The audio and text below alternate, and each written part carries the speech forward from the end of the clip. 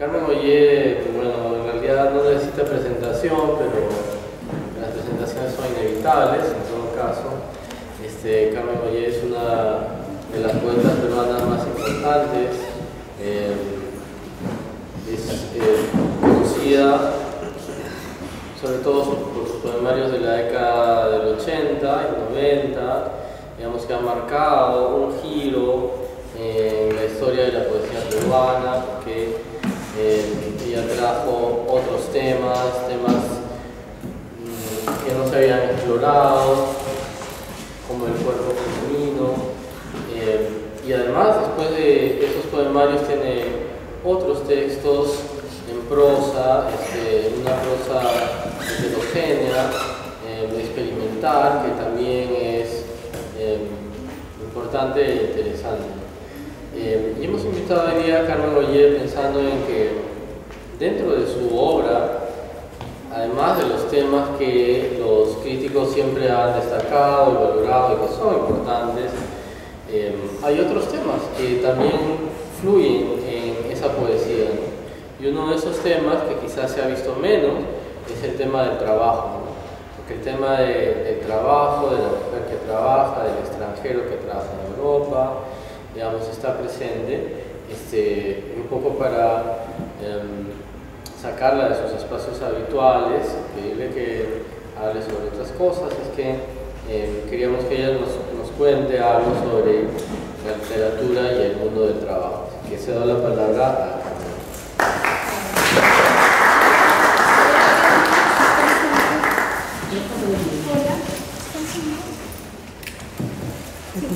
Pero se necesita... Ah, sí. Ah, están haciendo aquí. Ah, por la grabación. bueno, buenas noches. Agradezco a la Casa de Literatura, especialmente a Kristen, por esta invitación. Y debo decir que eh, cuando empecé a analizar eh, el mundo del trabajo, por supuesto, y la literatura, por supuesto que fui inmediatamente a internet a través de Google, ¿no? Y no encontré nada uh, directamente sobre el tema, ¿no? Encontré nada directamente sobre el tema y entonces fui a mi propia biblioteca, empecé a sacar algunos estudios este, literarios y en estos estudios literarios uh, tampoco había nada directamente sobre el tema. Es decir, los uh, críticos no se han ocupado objetivamente sobre el mundo laboral. He tenido que eh, sacar mis propias conclusiones a partir de eh, menciones al quehacer de algunos personajes. ¿no? Eh, bueno, la otra pregunta era el, sobre en qué momento se tomó conciencia del oficio de escritor, de escribir. ¿no? Eh, voy a, leer eh, algunas de estas reflexiones que he tenido que hacer partiendo de, digamos, de mis propios criterios. No hay absolutamente un trabajo um, publicado sobre el tema, salvo supongo que en el mundo, en el mundo de los sociólogos, pero no, este, el mundo de los sociólogos no se ha ocupado eh, necesariamente de las novelas, tal vez sí, pero no está sistematizado. Bien, voy a, leer las conclusiones que he extraído de algunos ensayos um, de mi propia biblioteca, de, mi propio, de mi propia biblioteca, biblioteca personal. ¿no? Debo empezar con las veladas literarias que bajo la iniciativa de la escritora argentina Juana Manuela Gorriti se realizaron en Lima de 1876 a 1892.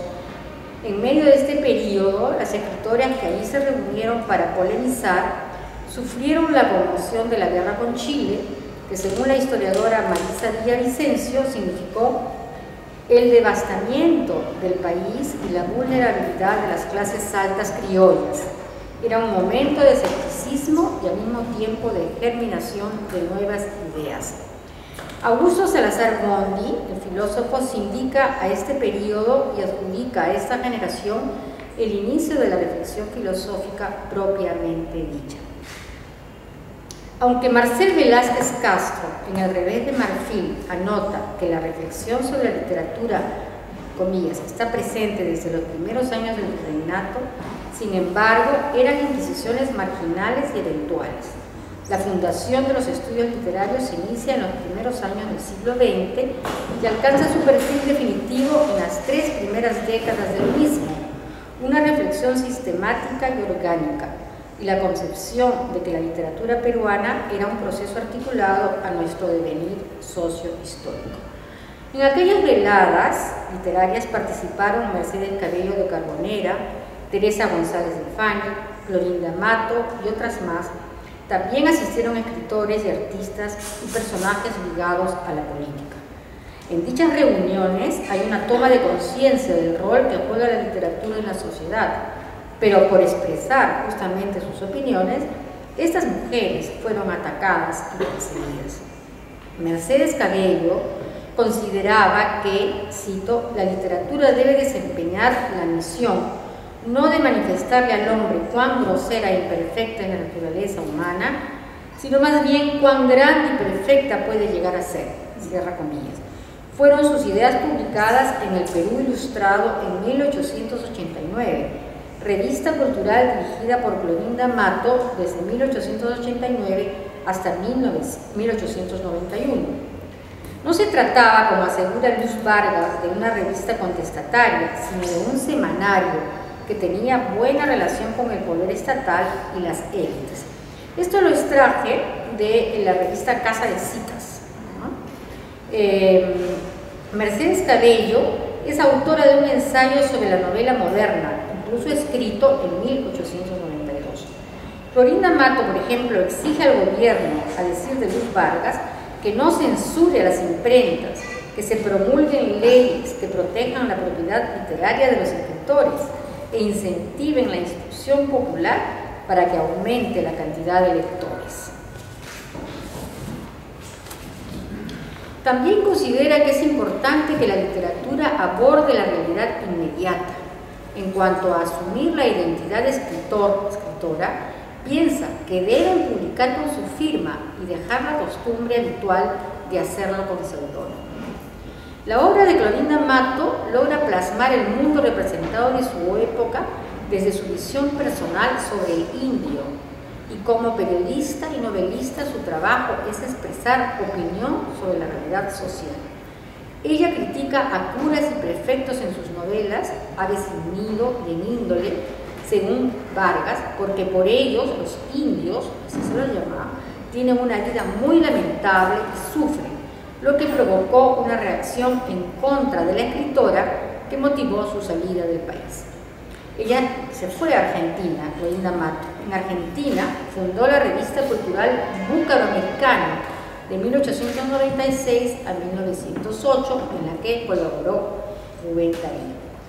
Según Antonio Cornejo Polar, en la formación de la tradición literaria en el Perú, tanto Aves sin Nido como Herencia, publicada en 1895, la continuación de Aves sin Nido, pueden leerse como la historia del modo a través del cual algunos pocos indios son capaces de liberarse del oprobioso sistema social andino gracias al patronazgo de una familia que hace suyo los ideales progresistas de la modernización burguesa.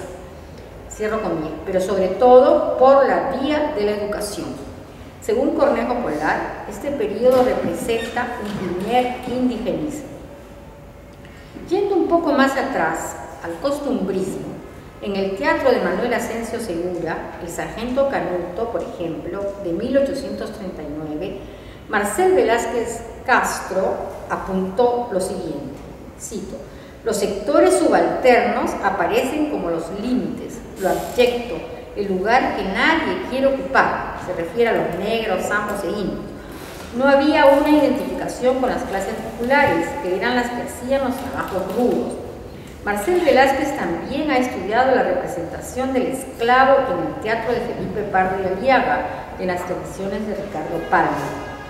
En Frutos de la Educación de Pardo y Aliaga, dice Marcel, uno de los personajes es Perico, negro bozal. Se llamaba Bozal que se llamaba bozal, negro bozal, a, aquel africano recién llegado, ¿no? esclavizado y que no podía hablar el castellano, por eso no se le entendía, y por eso la palabra bozal, que alude a, a eso mismo, al bozal. Aunque el texto no lo dice explícitamente, gracias a ciertas marcas discursivas, podemos inferir, sostiene Marcel, que estamos ante un esclavo dedicado al servicio doméstico. Según Enrique Carrión Ordóñez, citado por Marcel, cito, el personaje esclavo se expresa en una jerga bozal, recurso cómico heredado de un tipo ya consagrado en el teatro clásico español y aclimatado por Pardo al entorno histórico local. No sabe manejar fórmulas de, tratamiento porque está en una categoría marginal sin humana a la medida en que la lengua se convierte en símbolo de la sociabilidad y de la condición humana misma. Cierro comillas. En la crónica El estómago de la ciudad de los reyes del 16 de julio de 1916, ya yendo más adelante, Escribe Mariana Melo Vega, en Casa de Citas también, es una revista que ya no sale, de, data del 2010, en La Patria como pose en, las crónicas de Abraham Valdelomar, Valdelomar hace un análisis de la psicología de Lima a partir de sus mercados. El mercado es la base de todo proceso social, el centro de la diaria agitación Allí concurren todas las clases sociales, desde el mayordomo embotonado y glacial hasta el primer cocinero, desde el sirviente andino hasta la cocinera de manta, cesto y trenza partida, escribe Valdelomar. Melo Vega dice que Valdelomar describe yendo por secciones de puestos, las floristas, los zapateros, las queseras, las verduleras, los carniceros. En las crónicas de Valdelomar hay escenas callejeras que muestran el mundo laboral de Lima. Por ejemplo, en las 12 del día en Lima del 23 de julio de 1916, el autor presencia un lío en una esquina que protagoniza una gitana, un cachaco y un cierto quispes que se encuentra en problemas con el cachaco por haberle pegado a la gitana. Claro que según Mariana Melo, Valdelomar mitifica la escena y después de describirla al modo naturalista, la envuelve en un aura simbólica, pues él, como muchos de su época, eran escritores europeizantes. Otro aspecto interesante del mundo laboral se nota en la novela indigenista o la novela sobre el campesinado, el agro peruano. Dice Vargas Llosa en La Utopía Arcaica, que ya es un libro que data de 1996 sobre Arguedas, Dice que en El mundo es ancho y ajeno, publicado en 1941, cito, la intención que la anima es la denuncia social y la pintura costumbrista de paisajes, usos y tipos humanos relevantes. El gran Rosendo Maki, personificación de la sabiduría natural y la integridad ética. El bandolero Fiero Vázquez, el tinterillo Bismarck Ruiz, y el abogado idealista Arturo Correa Zavala, la autoridad corrupta Zenobio García, la prostituta Melba, entre otros. Según Vargas Llosa, la novela es más naturalista que indigenista si se parte del indigenismo de Arguedas, donde se plasma un mundo quechua culturalmente que quiere hacer la diferencia entre el mundo quechua y el mundo blanco con intención de preservarlo. De ahí la idea de, la utopía arcaica que maneja Vargas Llosa frente a la literatura de Arguedas. Cito, la novela de Alegría denuncia la explotación y abusos de que son víctimas los comuneros de Rumi por un sistema semifeudal de grandes propietarios que tienen a su servicio a jueces y autoridades políticas. Otro es el caso de José María Arguedas, especialmente en Los Ríos Profundos, de 1958, que Vargas Llosa considera su mejor novela, pues por su historia desfilan los contrastados grupos de la sierra, indios, colonos y gamonales, mestizos, artesanos y propietarios pobres y medianos, soldados y chicheras, curas y autoridades comerciantes, músicos y santeros ambulantes, pero su núcleo son las crueles e inocentes ceremonias de la pubertad que hace un niño del mundo adulto, Ernesto, impregnado de violencia y racismo. Ernesto narra en el capítulo Calicanto la frustrada persecución de doña Felipa y las hecheras rebeldes por los guardias que quedan despistados en el puente del río Pachachaca, que las mujeres han cortado como barrera mágica con las tripas de una. Pero Lima, como ciudad, ha ido transformándose a lo largo del tiempo, especialmente en la segunda mitad del siglo XX. De ciudad jardín pasó a ser llamada por Sebastián Salazar Bondi, Lima la Horrible, en un ensayo del mismo nombre.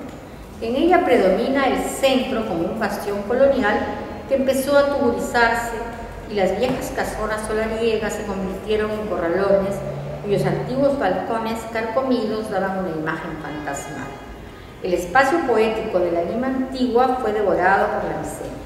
Las barriadas o asentamientos humanos cambian el rostro de la ciudad. El paisaje limeño no es el de los acantilados y barrancos de la avenida costanera, como en algunos cuentos de Ribeiro, por ejemplo. Hay corralones, quintas, edificios de clase media, pero sobre todo la ciudad es acordonada por barrios que van surgiendo de las manos proletarias y campesinas de los migrantes de la sierra buscando otro porvenir. Con el auge del industrialismo en 1950 surge la novela de tema urbano, denominada neorealista. Aparece descarnadamente la capital, su crecimiento apresurado, el populismo, y si antes con las novelas de José Díaz Canseco, Lima era un centro agilado y refinado donde las clases altas ejercían su ocio y distracciones, alternados con problemas de corte sentimental, como las novelas Duque, Susi, Bajo las Ligas, en el neorealismo emerge otra cara de la capital, su miseria y sordidez. Los personajes de Ribeiro con Grimes son los de la clase media, pobre y de las barriadas. Luego, con Vargas y Reynoso, tendremos otra gama de trabajadores como personajes, el periodista, el, militar, el dictador, etc. En Lima Hora Cero de 1963 de Grace, apreciamos un panorama laboral tan amplio como en otros cuentistas de la generación del 50. En un censo de la población del barrio entre el Porvenir y el Cerro San Cristóbal, en el cuento Lima Hora Cero, que da título al volumen, se reseña, cito, profesiones y oficios, jardineros, regadores, 16, sin actividad o trabajo, 31, albañiles, peones, 20, vendedores, revendedores, ambulantes, 26, basureros 29, estudiantes universitarios 11, cobradores 3, pordioseros 3, choferes 5. Además hay uno en cada una de estas actividades, carpintero, carbonero, bodeguero, zapatero domicilio, pintor, botellero, gasfitero, sastre.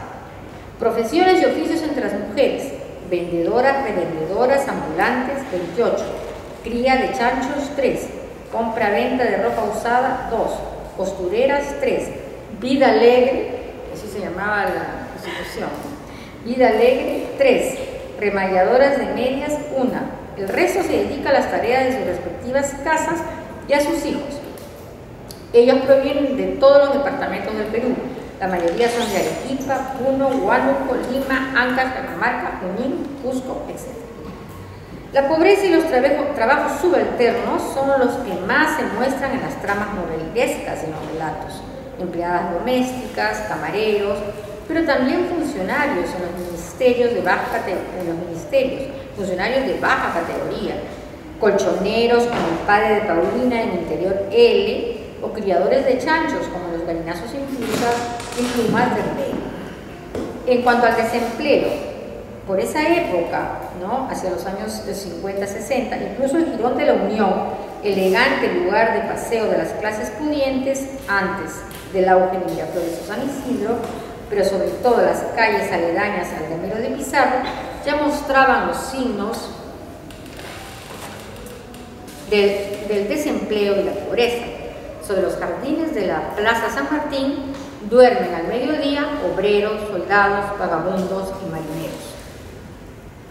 En Los Inocentes de Reynoso, en El Príncipe, el protagonista de 17 años roba un Ford y comete un asalto para hacerse una buena cantidad de dinero que necesita para conquistar a la chica de sus sueños. En el imaginario de la banda de estación popular, la mujer debe ser materialista, Por eso con el dinero le compra un vestido de lana y para él casaca rock and rolleras.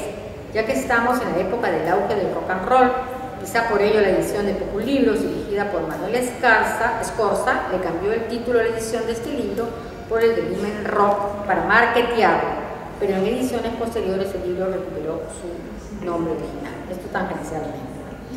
El príncipe es cliente habitual de un prostíbulo. Cada 15 días acude a la casa de Sarina. En esas escenas no se detallan los interiores ni se reproduce el ambiente. Hay sí un predominio narrativo del amor erótico. Eh, el príncipe no está descrito, eh, perdón, hay sí un predominio narrativo del, amor erótico. El cuarto de Dora, eh, la prostituta que atrae al príncipe, no está descrito, pero sí sus arrebatos románticos, porque Dora es una prostituta soñadora. Rechaza al consuelo cuando éste le muestra la plata, mala vida y el vestido y le enseña en la calle el fondo. Cuando la policía detiene al príncipe, este piensa que es un cojudo por culpa de las mujeres, pues donde se ha visto, si a él lo consideran un príncipe que no tenga auto ni dinero. En la cantina del japonés, con la radiola encendida, se desarrolla el capítulo sobre Colorete, quien está enamorado de Juanita.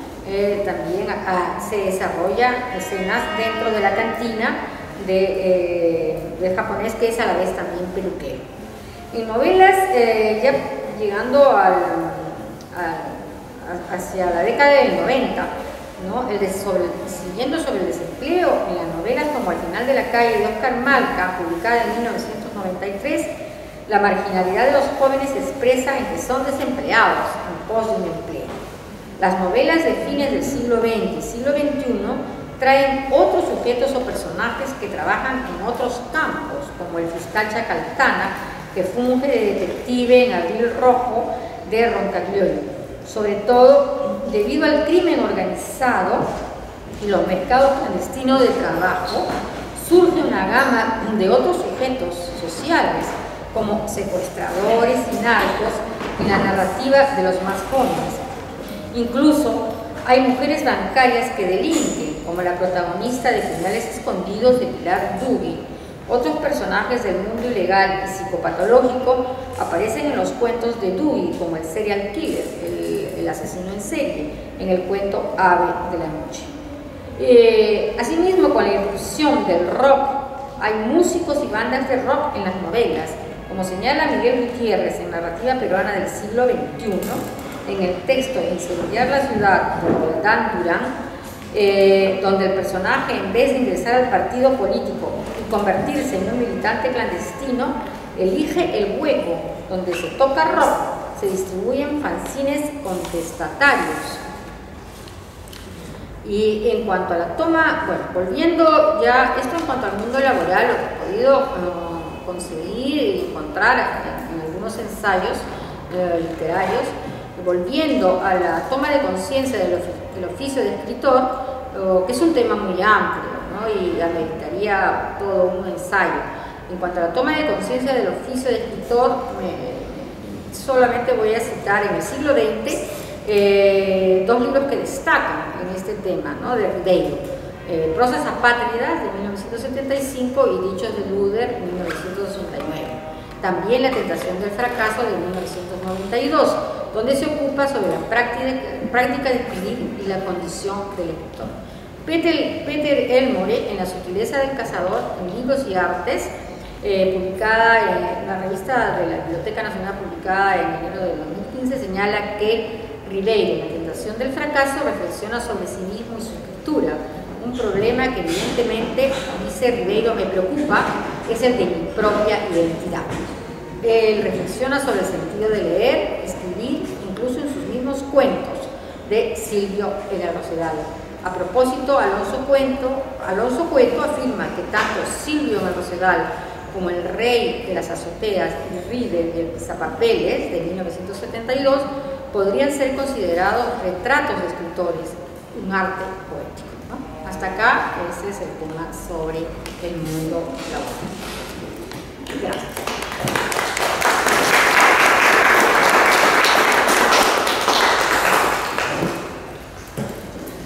Bien, eh, quería retomar este tema con un par de preguntas eh, que me vienen a la mente después de escuchar eh, el discurso de la profesora Carmen Ollí.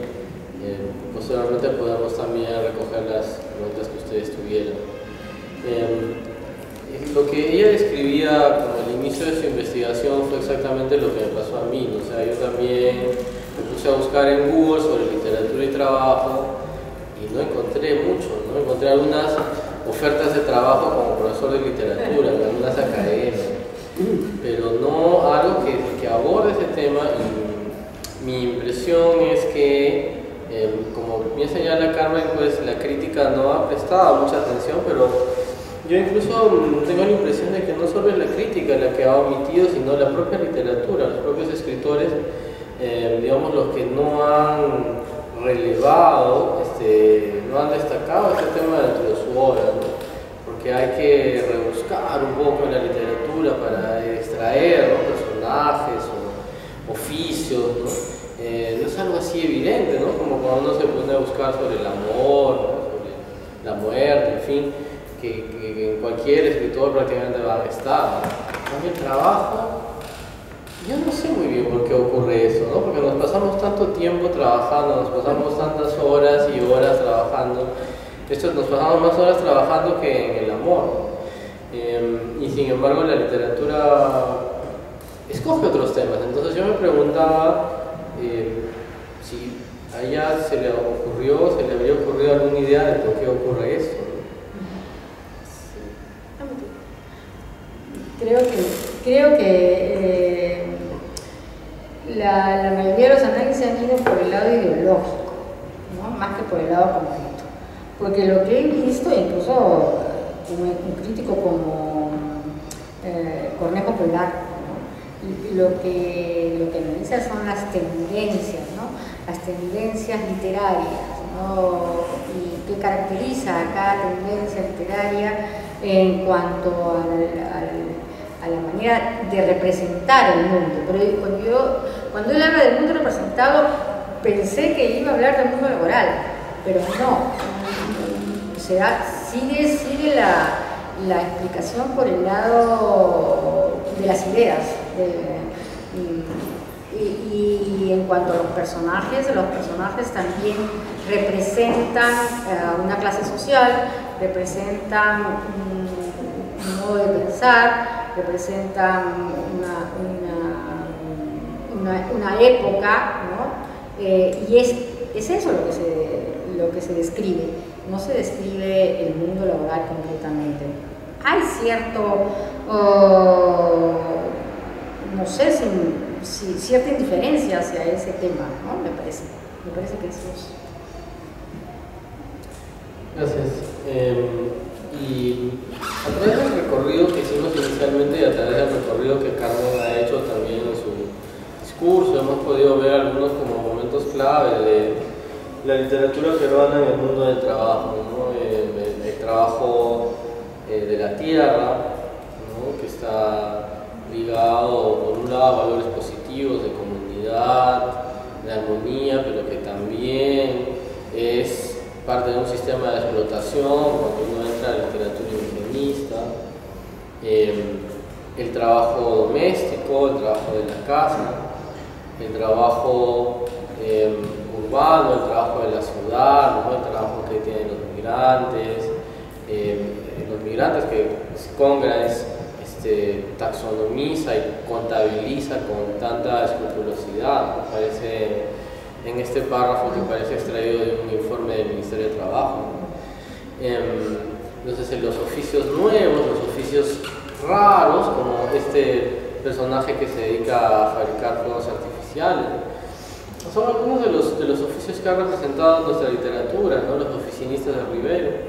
Yo pensaba, de repente, em, escapando al ámbito de la literatura peruana solamente, y pensando en la literatura latinoamericana, en la literatura universal, le quería preguntar a Carmen si se le ocurren algunos ejemplos de novelas o, bueno, las novelas digamos son las que más se acercan a ese registro, pero quizás otros textos en donde sea relevante también el aspecto laboral. Bueno, sí, en, el caso de las novelas eh, norteamericanas de Faulkner, ¿no? donde hay eh, eh, personajes que, que, trabajan en aserraderos o personajes que, que son guardianes, ¿no? y generalmente hay un mundo que discrimina también al,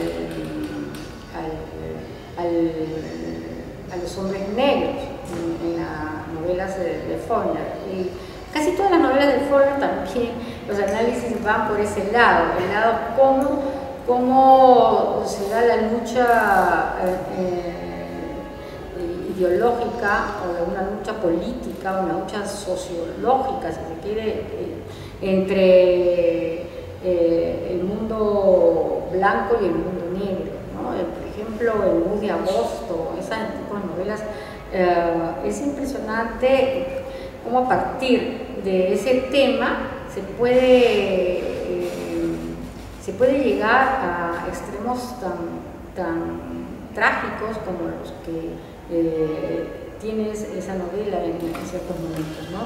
El crimen, la muerte, la discriminación, ¿no? En las novelas norteamericanas de James Baldwin, igual, eh, todas novelas de la primera mitad del, siglo XX.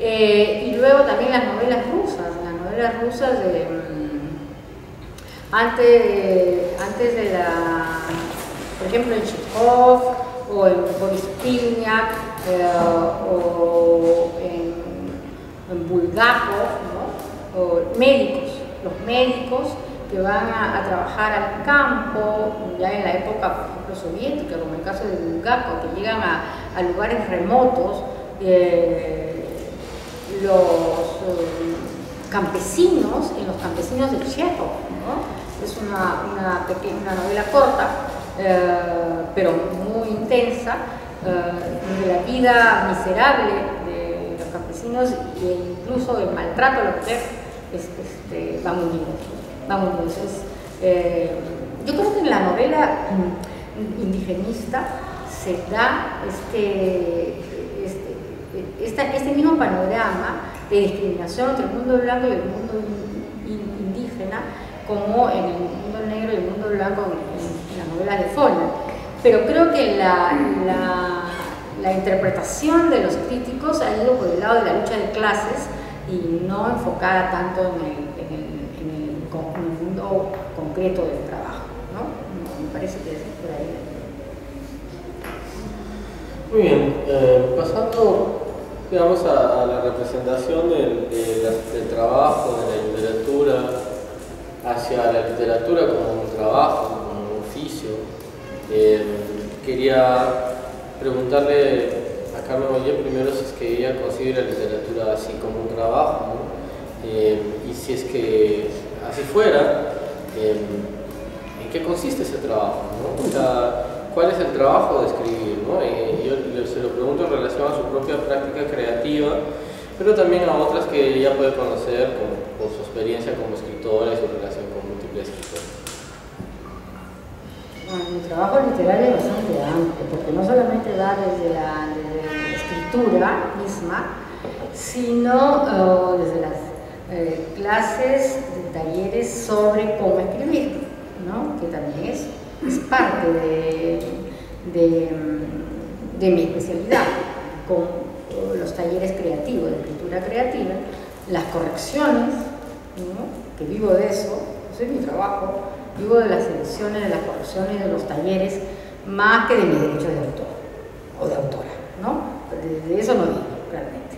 Eh, vivo como profesora, vivo como tallereuta, como directora de talleres, como editora, correctora, eh, y, todo eso forma parte de, mi trabajo literario. De mi trabajo literario en sí, de creación, es otro tipo de trabajo que me da otro tipo de recompensas. Me trae lectores, me trae invitaciones a, congresos, ¿no? Todo pagado, ¿no? Eso, es, un, de alguna manera una recompensa, eh, porque muchos no podemos viajar si no es, invitados, ¿no? Un viaje es costoso. Eh, pero mi trabajo concretamente literario, uh, Si bien antes cuando era más jovencita, cuando era jovencita, jovencita cuando era jovencita, lo hacía, eh, escribía por, eh, do- dominada por, por un deseo de expresar mi, mi mundo interior.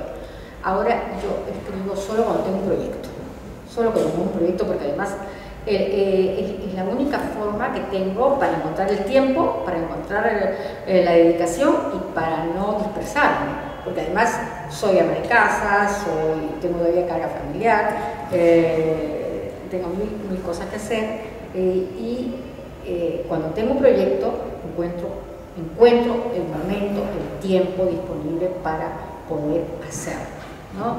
Eh, ya no es como cuando tenía 17, 18 años que, ah, me viene inspiración, me siento y me puedo escribir todo el día cuando me haga, no hago otra cosa. ¿no? Ahora es solo cuando tengo un proyecto. Gracias. Eh, pensando en, ese otro rol que mencionabas eh, del docente, ¿no? del, del profesor y del corrector y el tallerista, que de alguna manera son mediadores y, su trabajo es ese, ¿no? justamente mediar entre la literatura y el público, ¿no? permitir que el público pueda también crear o que pueda comprender los textos eh, o que los textos lleguen de una forma adecuada, ¿no? O sea, hay un trabajo ahí de mediación. Este, y no sé si es que, y además eh, Carmen Ollén tiene mucha experiencia en ese, en ese rol, ¿no? No sé si ella recuerda, bueno, primero, ese trabajo, digamos, en qué se, en qué se, cómo se caracteriza, ¿no? Y en qué se distingue de- del otro trabajo netamente creativo. Eh, y si es que recuerda alguno, algún personaje, algún, alguna obra en donde se represente. Leíamos un cuento de Francisco Izquierdo sobre el maestro, ¿no? que es uno de sus temas, de Izquierdo Río, uno de sus temas preferidos. Entonces, eh, si recuerdan textos en donde se muestra también este, este tipo de trabajo El trabajo como corrector y como editor, y como profesor. como profesor.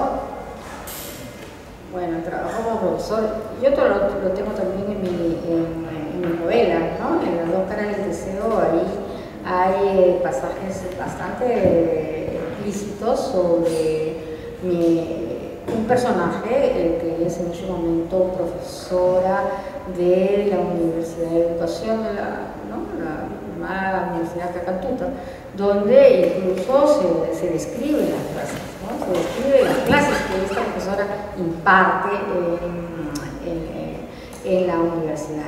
Y se describen los momentos eh, polémicos con algunos estudiantes este, subversivos en, esa, en, esa- en esas clases. Luego, cuando la, la profesora en la novela parte a Estados Unidos y, y, em, va a estudiar inglés como segunda le- lengua en una pequeña ciudad de Estados Unidos, también se describen las clases de inglés con el profesor oh, italiano que, que que las imparte. Pero en cuanto a lo que tú me decías acerca de... Ay, bueno, y en Puñales Escondidos de Pilar Guri, también eh, la, la- señora, que, la protagonista que trabaja eh, en este banco y que delinque y que llega a, a cometer un delito bancario, ¿no? Eh, asiste a, a talleres de, de literatura japonesa, ¿no? Asiste, y eh, hay como dos hilos narrativos en esa novela. El lado la vida personal de ella en el banco y luego el hilo narrativo eh, que tiene que ver con la novela japonesa y, la, la el aprendizaje de, de las características de la novela japonesa en los talleres a las clases que ella asiste. Eh, Entonces donde se menciona autores oh, importantísimos como Kawabata, ¿no? en, Puñales Escondidos de Pilar. Pero a propósito de- del trabajo creativo en los talleres, este trabajo va más allá que ser un simple mediador. A veces eh, eh, eh, he tenido una alumna o un alumno en los que he tenido que prácticamente bucear dentro de sí, dentro de, la, dentro de ellos mismos, para poder extraer eh, los poemas que no pueden escribir por su cuenta. Y entonces, ¿cómo lo hago? Yo he tenido que encontrar mis propios métodos para... Ah, estas personas querían escribir, pero no pueden, porque no ven, porque, porque están bloqueados. Entonces, simplemente yo, yo llevaba los textos de varios autores, ah, leía los textos en voz alta y decía, ah, a partir de lo que estás leyendo, empieza a escribir. Entonces escribía dos, tres versos y luego los trabajamos juntos, ¿no? Los trabajamos juntos. Eh, ese tipo de trabajo es un trabajo bastante especial, ¿no? Es un trabajo casi terapéutico porque son personas que están bloqueadas, pero que tienen el deseo de, de sacar fuera todo, todo su mundo interior. Entonces, la, la, la forma de hacerlo era ir respetando, en mi caso, su manera de eh, expresarse, su manera de pensar. Eh, por ejemplo, este alumno, esta alumna, que no voy a decir el nombre ya, ha publicado cuatro libros, cuatro poemarios, ¿no? cuatro poemarios eh, a través de ese método. Y, y, esos poemas no tienen nada que ver con mi estilo, ni con mi mundo interior, para nada.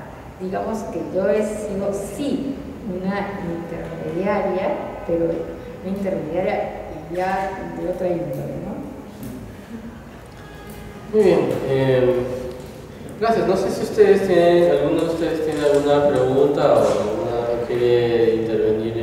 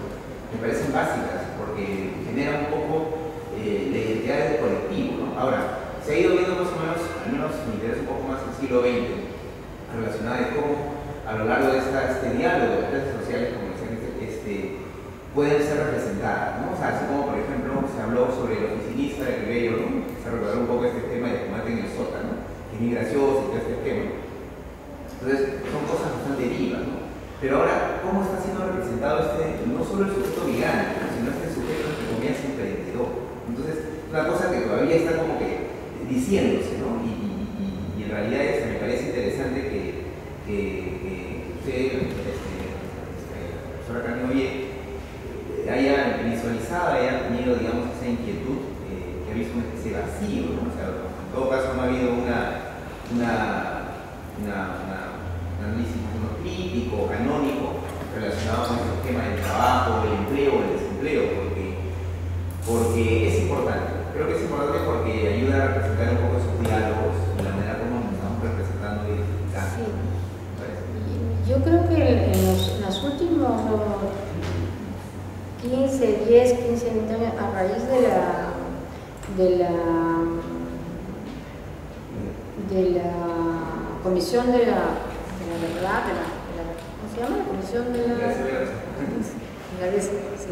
Eh, muchos escritores han empezado a escribir sobre el tema de la, de la guerra interna, ¿no? Eh, por un lado, eh, pero, pero, pero desde el punto de vista ah, de un thriller. Pienso en la novela de Roncagliolo, incluso en la de Cueto, Ah, eh, donde la importancia se da entre las relaciones entre, subversivos y, autoridad. Incluso la, obra que, tiene un aliento narrativo de, del Pentagonito, del, periodista Uceda, también, cómo se da la relación entre las chicas estas subversivas que habían sido detenidas y los militares. Entonces, eh, no, no, no, se, se va por ese lado, el lado del thriller, la novela de Roncagliolo, la novela de, de Gutiérrez, todas van por ese, ese lado. Y por otro lado, eh, ya dije, el mundo del crimen organizado, el mundo clandestino, ¿no? el mundo ilegal, que también es otro mercado de trabajo, ¿no? es otro mercado de trabajo. ¿no? Eh, y- pero no solamente de, los sicarios, de los secuestradores, sino también de- del- mundo de, los altos ejecutivos. ¿no? Eh, debe haber en Estados Unidos, sí hay cine, cine, eh, una película de Woody sobre eh, mm, alto banquero, ¿no? que cometió delitos en, a propósito de, de- de la crisis internacional, cuyo hijo incluso se suicida. ¿no? Sí, eh, ya hay novelas sobre, sobre ese tema, pero uh, creo que la Casa de Literatura tiene ahora un, tiene un, un rol muy importante al, al, um, eh, al dar ¿no? el tema como primicia para, ah, y, Jaime, que es periodista, puede difundir que no hay material, que no hay análisis objetivo sobre ese tema. En realidad, cuando yo empecé a leer eh, los textos de los, de los estudiosos y, y literatos sobre la literatura, empecé a decir, pero no hay nada, ¿no? Eh, Era impresionante. Sí.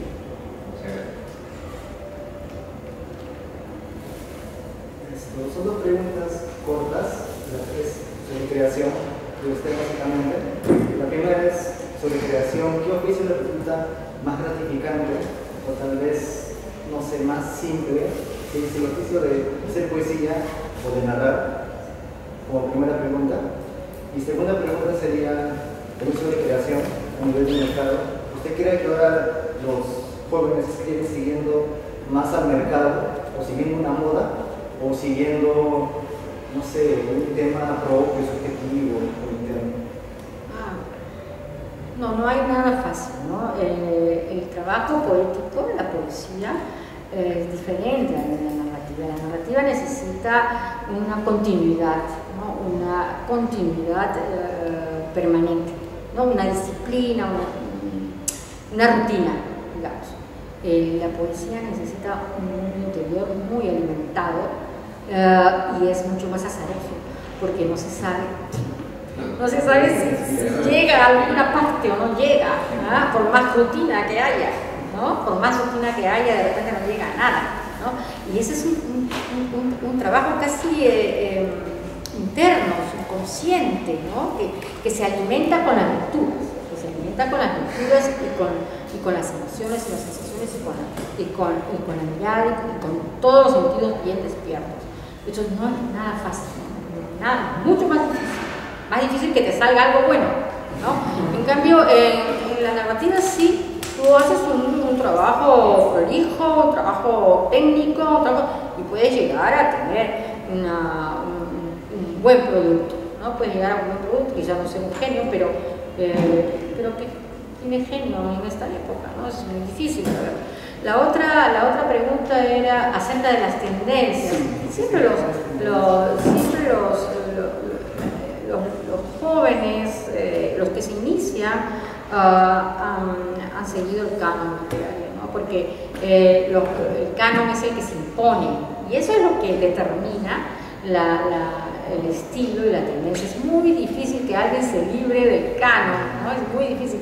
Eh, e incluso en, medio de, de, de, los estilos que se imponen en determinada época a través del canon, uh, aparece alguien que no tiene nada que ver con eso y no se le menciona, sino se le descubre probablemente mucho tiempo después, mucho tiempo después. Ahora, que alguien siga su mundo interior también en esta época de marketing, en esta época globalizada, en esta época donde con, el smartphone y con el Facebook, con todo eso, es bien difícil que alguien tenga la, la independencia para eh, encerrarse en, sí mismo y no ver nada de eso. Solo con, conozco muy pocos, ¿ah? conozco muy pocas. Una de ellas es José Di Paolo, que incluso le dice a sus eh, alumnos, por favor, cierren, apaguen la computadora, no estén viendo Facebook, métanse en sí mismos, en su mundo interior. Otra que está en su mundo interior, es la poeta también Magdalena Chocano, ¿no? Magdalena Chocano también, eh, Giovanna Polarolo también, más escritoras, más escritoras que escritores en el sentido, porque las frecuento más, ¿no? Las frecuento más y las conozco mejor. Bien, eh, de esta manera eh, cerramos esta charla sobre literatura del mundo del trabajo. Agradecemos enormemente a Carmen Oye por habernos acompañado hoy día y por sus reflexiones que, como ella dice, son un punto de partida para seguir pensando en este tema que no ha sido muy cubierto por la crítica literaria. Así es que agradezco también a ustedes por su presencia y desde ya los invito para la charla del próximo mes que será sobre literatura y diversidad sexual. Gracias.